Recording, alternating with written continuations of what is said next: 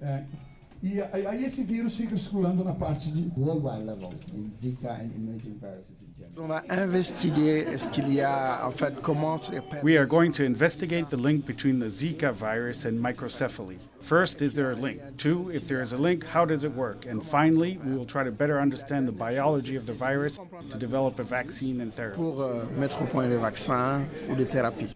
extremamente complicado, né? Inclusive com transmissão. Daqui a seis meses eu gostaria muito de Six months from now, I would love to understand what causes microcephaly. I'd like to have an extremely fast and agile detection system. I'd love, for example, for a pregnant woman to be followed where we could say to her, there is a risk that you are infected by the Zika virus. And we could then intervene rapidly to reduce the risk to the child.